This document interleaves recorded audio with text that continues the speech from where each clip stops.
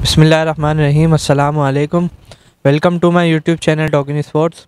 और मैं हूँ मोतसिन शाह। आप सबको तमाम व्यूवर्स को खुश आमदीद कहते हैं क्रिकेट कैफ़े में, अपने शो में। आज मैं मौजूद हूँ कराची शहर, कराची की रौनक। शहर कराची, जो हमारा रोशनियों का शहर कहलाया जाता है, उसका सबसे बड़ा स्टेडियम, नेशनल स्टेडियम के अंदर मैं मौजूद हूँ। यहाँ पर जो है इंटरनेशनल क्रिकेट भी होती है और डोमेस्टिक क्रिकेट भी होती है।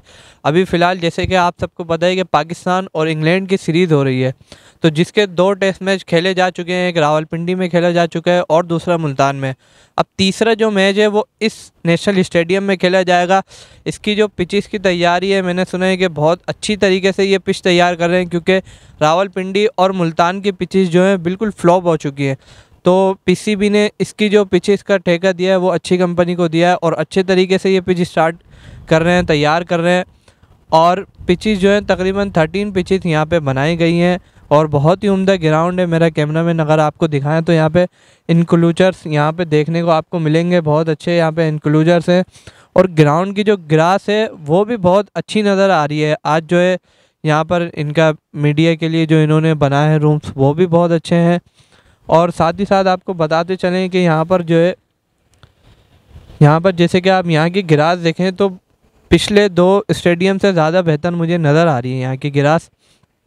और यहाँ की लाइटिंग भी अच्छी है। अगर नाइट पे बात चली जाती है तो यहाँ पर मैच नहीं रोकेगा। जैसे पंद्रह ओवर रोका गया था वहाँ पे रावलपिंडी में।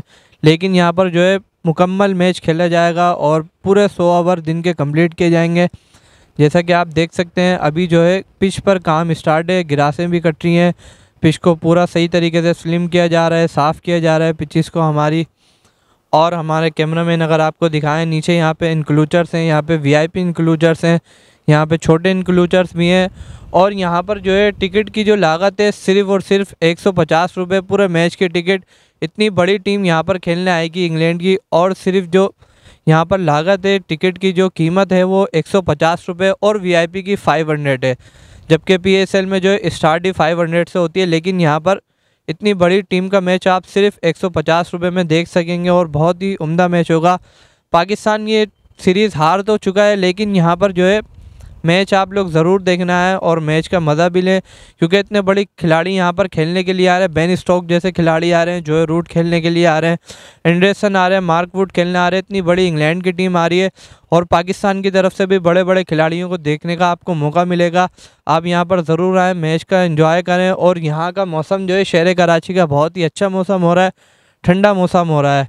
तो आप जैकेट्स भी अपने साथ ज़रूर लाइएगा और शहर कराची को इन्जॉय करते रहिएगा और पूरा मैच ज़रूर देखिएगा। उम्मीद करता हूँ कि पाकिस्तान ये मैच जीतेगा।